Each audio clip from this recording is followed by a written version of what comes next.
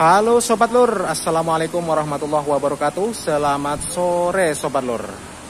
Oke, kali ini saya lagi berkunjung ke garasinya PO Zen Putra yang berasal dari kota Kediri Sobat Lur. Saya lama banget nggak mengunjungi garasi ini dan ternyata diam-diam di garasi ini memesan dua sasis Hino RM dan juga Hino RKZ Sobat Lur Oke, kebetulan di sini saya mau nge-review sedikit tentang unit yang sudah rilis beberapa hari lalu dari Adi Putro ya Sobat Lur. Kemarin rilisnya kalau nggak salah tanggal 10 November 2022. Sedangkan yang satunya yang RKZ masih proses ya. Kemungkinan dua minggu lagi atau mungkin satu bulan lagi juga sudah rilis Sobat Lur.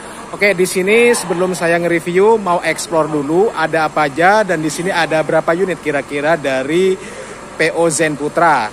Oke, Sobat Lur, di sini sudah terlihat ada dua unit yang keduanya sudah menggunakan double glass Adi Putro semua ya. Dan di sini juga ada double glass Adi Putro dan ini para krunya. Oh ya, Zen Putra itu memiliki 12 unit, 13 sama yang baru ya.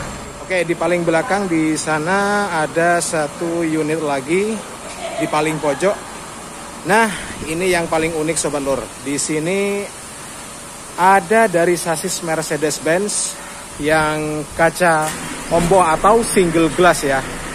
Ini karoserinya menggunakan karoseri dari Morodati Prima. Terus ada lagi yang satu ini dari Adi Putro Sobalur.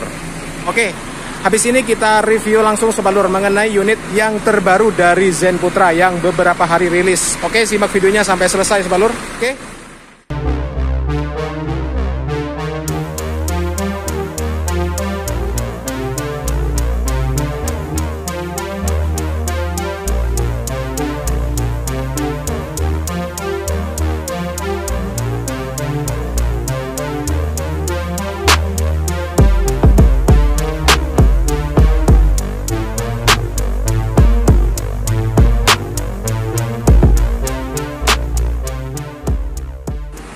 Oke Sobat Lur, di sini saya mau nge-review langsung tentang unit yang baru aja rilis dari Adi Putro ya, milik PO Zen Putra asal kota Kediri. Oke, di depan ini adalah Big Bus menggunakan body SHD Voyager dengan sasis yang digunakan yaitu menggunakan sasis Hino RM 280 ABS ya tahun 2022 registrasinya juga Sobalur. Oke, ini yang udah Euro 4 ya Sobalur. Ini SHD dan juga terlihat sangat tinggi sekali ya untuk tampilannya dan juga bodinya sangat tinggi sekali ya Sobalur.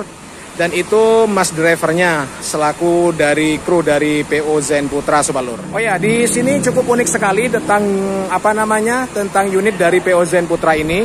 Di sini menggunakan body SHD Voyager namun untuk selendangnya requestnya tidak dipasang ya Sobalur tanpa adanya selendang Voyager karena memang permintaan dari si pemiliknya atau dari si owner dari PO Zen Putra dengan alasan biar penumpang yang ada di paling depan pandangannya keluar itu tidak terhalang oleh selendang Voyager. Jadi terlihat sangat unik sekali ya Sobat Lur. Oke, kebetulan ini apa namanya eh, bagasinya tembus lebar banget ya untuk sasis RM 280 untuk tampilan di bagian depan seperti ini Sobat Lur. Nah seperti ini ya. Ini divisi pariwisata Sobat Lur. Oke untuk tampilan di bagian samping kiri seperti ini ya Sobat Lur. Keren banget sih. Oke. Untuk tampilan di bagian depan cukup elegan sekali ya. Ciri khas dari Adi Putro memang bukan kaleng-kaleng sebalur, istimewa banget. SHD memang lebih tinggi ya dibanding yang sebelahnya itu. Oke, sekarang kita lihat di bagian samping ini kebetulan Zen Putra uh, untuk warnanya memilih warna yang warna merah ya seperti ini. Oke, di sini sudah terpampang logo dari Zen Putra sendiri dan di sini ada tulisan Jawa atau aksara Jawa yang artinya tadi saya nanya-nanya eling lan waspodo. Jadi selalu ingat dan waspada. Oke, habis ini saya tutup dulu ini biar nggak ter, nggak terganggu ya. Oke, kita lihat dulu bagasinya sebelum saya tutup biar kita sedih apa lebih sempurna ya, lebih puas.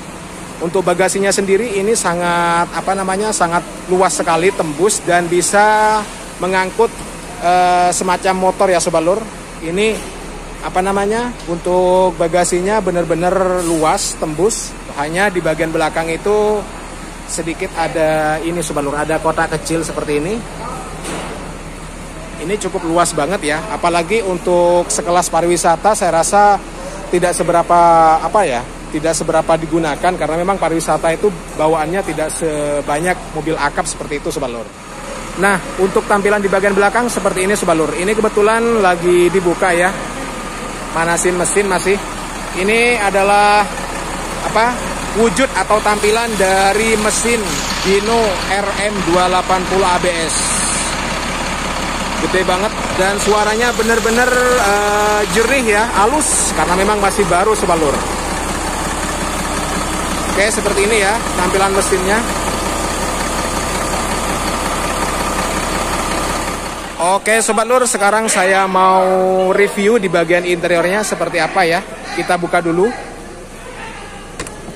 Nah, untuk pintunya sliding door ya Sobat Lur. Wih, keren banget Sobat Lur, istimewa banget ya kita masuk dulu. Oke, saya masuk ke dalam. Tampilannya seperti ini Sobat Lur. Untuk tampilan interior dari uh, bus milik PO Zen Putra yang baru rilis yaitu SHD Voyager.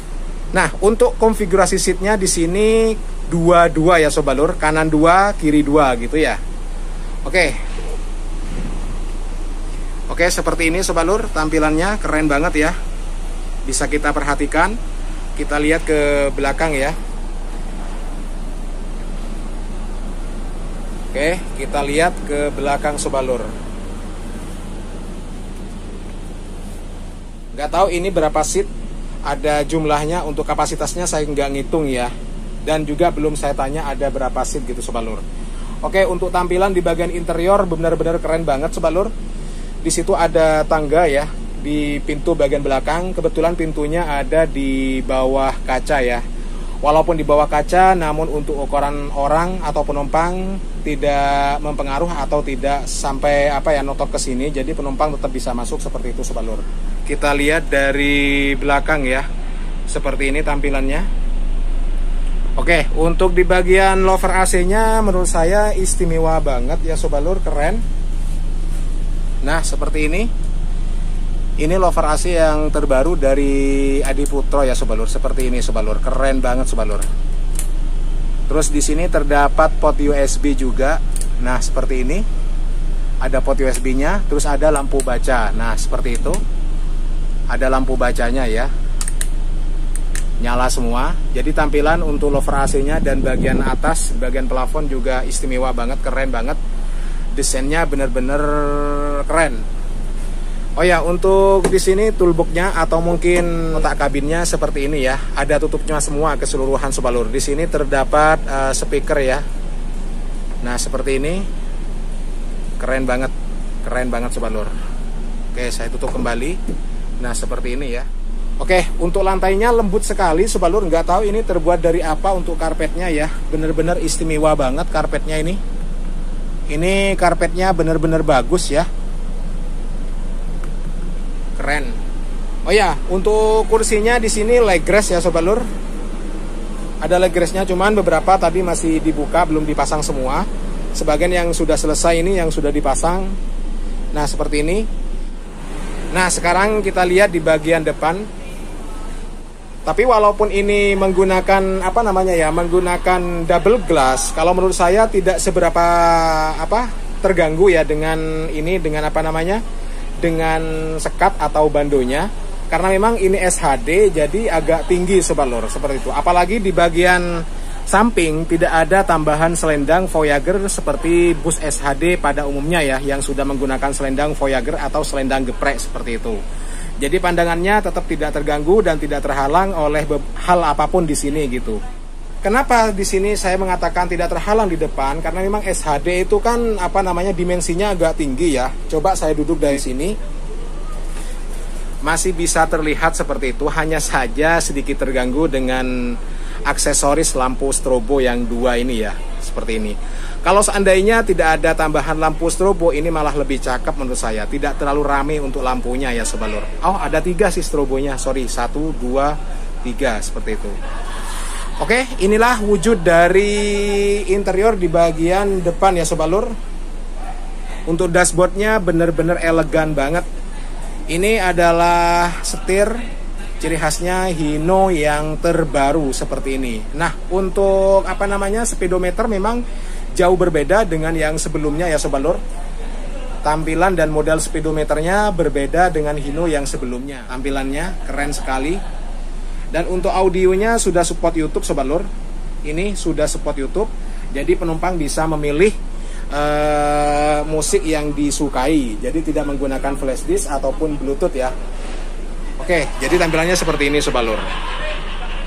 Selain itu, untuk interior lain di sini ada yang unik dari PO Zen Putra, bisnya yang baru rilis. Di sini memang beda dengan yang lain Oke, selain di sini apa kaca sampingnya kanan kirinya di bagian depan sudah tidak menggunakan selendang Voyager. Terus di sini di bagian kursi atau seat sopir di sini juga dilengkapi seperti ini. Nah, kayak gini sobat. Jadi sangat nyaman sekali ke sopirnya ya. Tapi kalau menurut saya kalau dua-duanya diturunin semua, kalau ukuran sopirnya agak gemuk, saya rasa mungkin eh, terlalu mepet ya atau mungkin terlalu sempit gitu. Tapi unik sekali sih pesanan dari eh, Zen Putra ini. Memang terlihat sekali ya Sobat Lur untuk tampilan apa namanya di bagian samping pemandangannya cukup luas dan tidak terganggu dari apa pun. Apalagi di sini untuk kursinya posisinya tinggi banget ya. Tapi sejauh ini oke okay banget lah hasil garapan dari karoseri Adi Putro ini. Keren banget Sobat Lur. Oke, mungkin itu dulu video dari saya. Semoga video ini bisa informatif dan bermanfaat kepada kalian semua, khususnya pecinta dan penikmat transportasi, khususnya big bus dan medium bus dan sebagainya. Oke, saya Indra Sran, salam budaya, salam pariwisata, dan salam satu hobi. Mantap.